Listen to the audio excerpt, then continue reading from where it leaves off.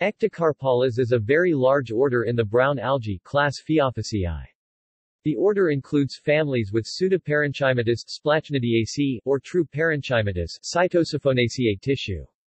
Pseudoparenchymatous refers to a filamentous alga with cells packed very close together to give an appearance of parenchymatous tissue, the latter being composed of cells which can truly divide in three dimensions, unusual among the algae.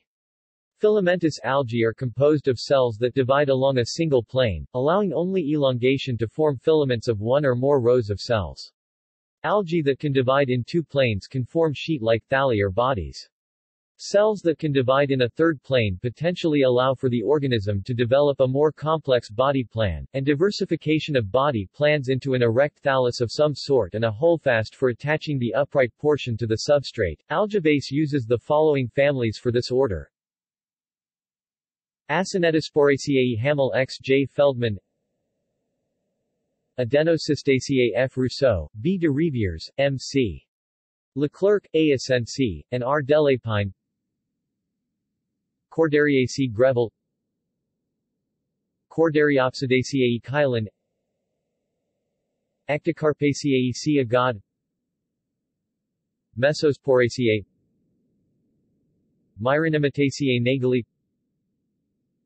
Pylaiellaceae AlgaeBase places Ralfsiaceae in its own order, the Ralfsiales, and Splachnidiaceae in the Scytosiphonales. References Further reading Clayton, M.N. 1974.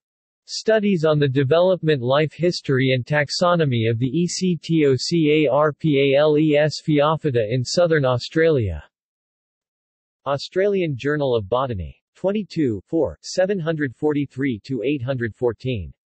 doi, 10.1071, bt9740743.